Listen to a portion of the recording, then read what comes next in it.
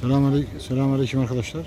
Adakçı Şahin Bey olarak Akbaş Kız Kur'an kursuna müşterimizin bir adet adağını teslim ediyoruz. Rabbim dergah hicasında kabul eylesin inşallah. Sizler de adaklarınızı kestirin ve biz teslim edelim.